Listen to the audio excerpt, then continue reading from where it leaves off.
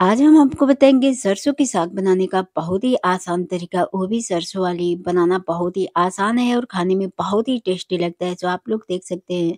रोटी के और चावल के साथ भरपेट खा सकते हैं। तो ऐसा ही बनाने के लिए वीडियो को आखिर तक ज़रूर देखिएगा। अगर मेरी वीडियो आप लोग को अच्छी लगे तो प्लीज़ वीडियो को लाइक और हमारे चैनल को सब्सक्राइब ज़रूर कर दीजिएगा।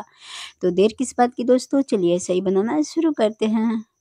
सबसे पहले यहाँ पे मैंने ले लिया है सरसों जो आप लोग देख सकते हैं, ठीक है? आप लोग के सामने है। तो सरसों के साग कैसे बनाना है और कौन-सी सरसों लेना है आपको ये देखिए। ये डंटल वाला सरसों है जो टाइट हो गया है।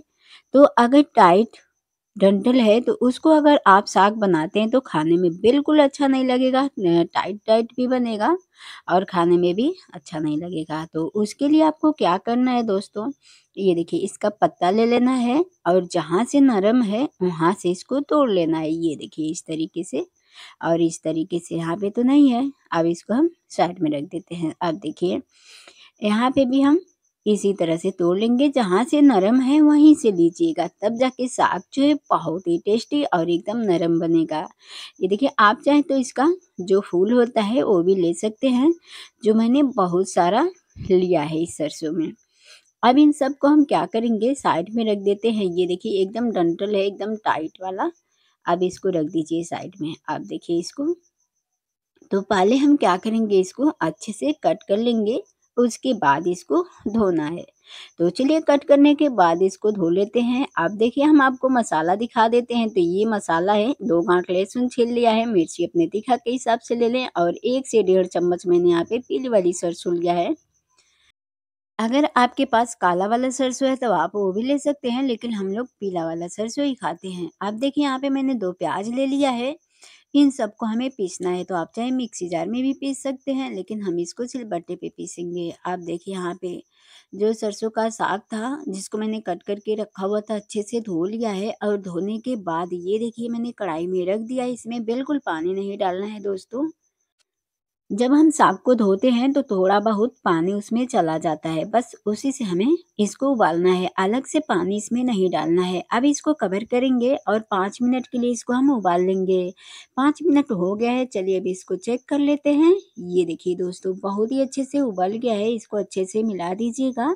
यहाँ पे भी अभी गैस को मैंने हाई फ्लेम ही रखा है। चलिए अब हम क्या करेंगे गैस को बंद करेंगे, फिर हम इसको निकाल देंगे। ये देखिए इस तरीके से हमें इसको छान के निकाल लेना है। उसके बाद जो ये पानी बच गया इसे हमें फेंक देना है। इससे क्या होता है दोस्तों जो सरसों होता है ना, उसमें थोड़ा झरात टाइप का होता है, जैसे थोड़ा कड़वा लगता है तो इसलिए पानी को फेंक दें। उसके बाद देखिए कढ़ाई को मैंने अच्छे से साफ़ कर लिया है उसके बाद इसमें सरसों का तेल डाला है। आप चाहें तो कोई भी तेल ले सकते हैं। तेल अच्छे से गर्म हो गया है तब इसमें मैंने डाला है थोड़ा-सा मेथी दाना इससे बहुत ही अच्छा टेस्ट आता है। दो सूखी लाल मिर्च भी डाल दें तड़का के लिए मिला दें इसको ताकि हल्की सी भुन जाए। यहाँ पे आप लोग देख सकते हैं चटकना शुरू हो गया है, बहुत ही अच्छा खुशबू आना शुरू हो गया है। उसके बाद हम इसमें क्या करेंगे मसाले को डाल देंगे। इस मसाले को मैंने सिलपट्टे पे पीसा है दोस्तों। मसाला डालते समय तुरंत इसको कवर करना है, बस 15 से 16 सेकंड के लिए। उसके बाद इसका ढक्कन हटाएँ। तो जैसे ढक्कन हटाएँ इसको, ये देखिए, इसको मैंने ढक्कन हटा दिया है उसके बाद जिसमें मैंने मसाला रखा हुआ था थोड़ा-सा इसमें पानी लेके इस तरीके से मिला के डाल देंगे ताकि जितना भी मसाला लगा हुआ है चला जाए। अब देखिए, नमक डालेंगे, स्वाद के अनुसार उसके बाद हम इसमें डालेंगे हल्दी पाउडर, एक चौथाई चम्मच।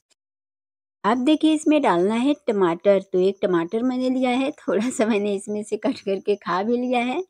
तो टमाटर एक मैंने इसमें डाल दिया है, बहुत ही अच्छा इससे टेस्ट आएगा। अब देखिए मसालों को मैंने चलाते हुए अच्छे से भून लिया है दोस्तों, मसालों में से तेल छोड़ना जब शुरू हो जाए तब इसमें सरसों डाल दीजिएगा। मतलब ये सरसों का साग जो है उसको डाल दीजिएगा, उसके बाद इसको अच्छे से मिक्स कर लेना है। अगर इस तरीके से आप बनाएँगे तो यकीन मानिए बहुत ही अच्छा और बहुत ही टेस्टी बन के तैयार होगा, यकीन मानिए दोस्तों। तो चलिए अब इसको हमने अच्छे से मिक्स करने के बाद मिला दिया है और बीच-बीच में इसको चलाते रहना है और इस तरीके से इसको दबाते हुए अच्छे से इसको पका लेना है। गैस के यहाँ पे मैंने हल्की सी मीडियम कर दिया है अब देखिए, इसको आराम से अच्छे से चलाते हुए पका लेना है। हल्की सी मीडियम करना है, एकदम हाई फ्लेम पे। अब इसको नहीं पकाना है, नहीं तो जल जाएगा।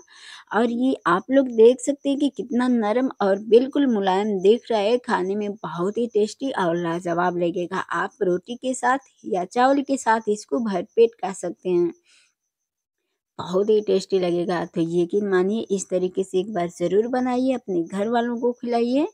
और हाँ दोस्तों, ये सरसों वाली सरसों की साग बनाने का तरीका आप लोग को कैसा लगा प्लीज़ हमें कमेंट में लिख के ज़रूर बताइएगा। तो चलिए दोस्तों, फिर मिलेंगे अगली वीडियो में। वीडियो देखने के लिए शुक्रिया। Thank you.